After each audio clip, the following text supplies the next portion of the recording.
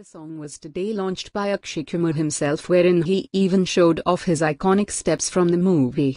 Earlier, Kaira also posted a video with Raveena wherein both were seen dancing to Cheez Badi Hai Mast Mast. Already nostalgic. Helmed by Abbas Mustan, Machine is a romantic thriller and also marks the debut of Abbas's son Mustafa.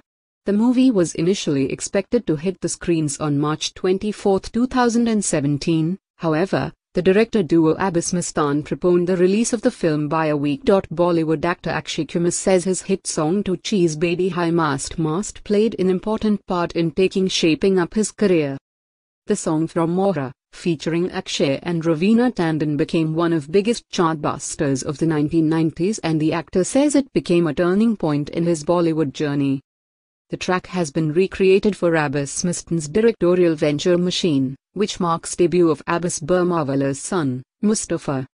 In My Life, three things played a crucial part, Khiladi film, Tu Cheez Badi Hai Mast Mast song and Chura Ke Dil Mera song These three things shaped up my career. This song gave a turning point to my career, Akshay told reporters here at the launch the new version of the song.